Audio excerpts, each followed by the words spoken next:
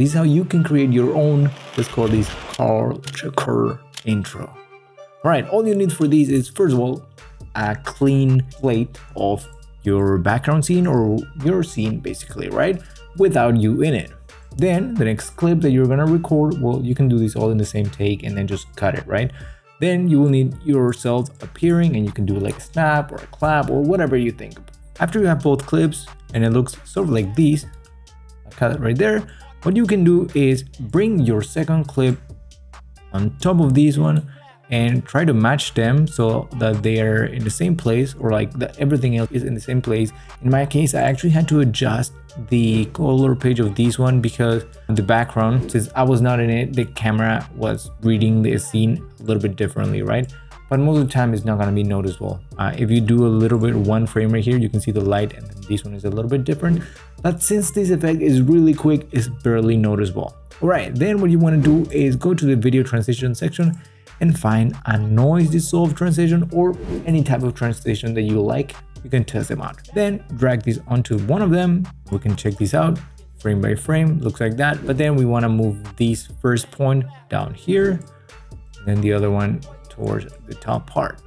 Here on this noise dissolve, you can actually choose a different type. I'm gonna set it to radial. You can increase or decrease the softness, play around with these. And then what I did here is in the noise section, I changed the detail and played around with a little bit of a seed rate. And you can also set it to discontinuous. Now, if you want to add a cool effect to this one, go back to the controls and activate the borders here. And then just add a little bit of a cool color to these.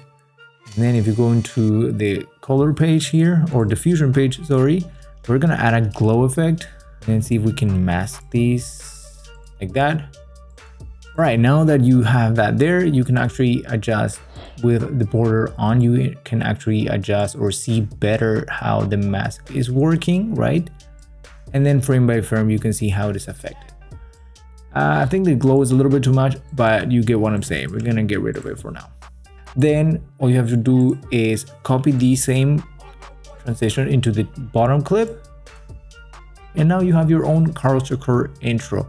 So if you want to add a little bit of an extra touch, add an adjustment layer here, create a keyframe here on the zoom, go a few frames right here, create sort of like a little bit of an impact zoom transition.